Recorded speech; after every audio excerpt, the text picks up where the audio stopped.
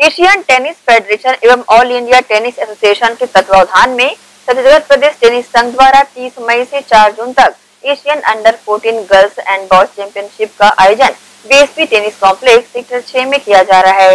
इस टूर्नामेंट का औपचारिक उद्घाटन टूर्नामेंट डायरेक्टर छत्तीसगढ़ ओलंपिक संघ के महासचिव गुरुचरण सिंह होरा और कार्यकारी अध्यक्ष अवतार जुनेजा ने किया। महासचिव गुरुचरण सिंह होरा ने जानकारी देते हुए बताया कि प्रतियोगिता के मेन ड्रॉ के मैचेस सोमवार को प्रारंभ हुए हैं।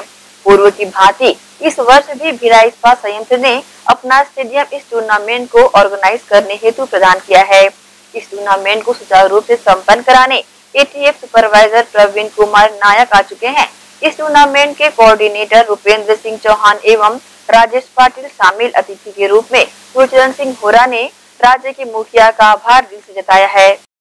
एशियन टेनिस जो टूर्नामेंट आज भिलाई में होने जा रहा है, इसमें सारे देश विदेश के खिलाड़ी यहाँ पे आमंत्रित थे और काफ़ी एंट्री आई हुई है। बहुत अच्छे मैचेस देखने को मिलेंगे। पाँच कोर्ट हैं मैनेजर्स हैं टीम रेफरी हैं, खिलाड़ी हैं। उम्दा प्रदर्शन देखने को मिलेगा। यहाँ पे मैं माननीय भूपेश बघेल जी का बहुत धन्यवाद करना चाहूँगा।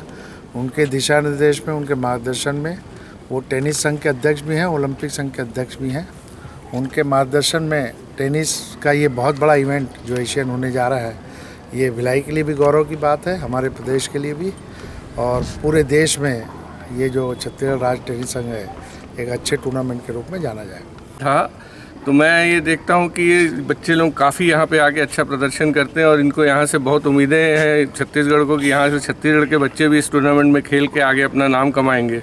और साथ ही मैं होरा जी को भी बहुत धन्यवाद देता हूँ कि उन्होंने इतने बड़े बड़े टूर्नामेंट यहाँ छत्तीसगढ़ में करवाए हैं और आगे भी उम्मीद करता हूँ कि करवाते रहेंगे। ट्रॉफियाँ ही सबको दी जाती है यहाँ पर पहले भी टूर्नामेंट हुए सब में ट्रॉफियाँ ही उपलब्ध करवाई गई हैं बच्चों को। इस साल भी सबको ट्रॉफियाँ दी जाएँगी।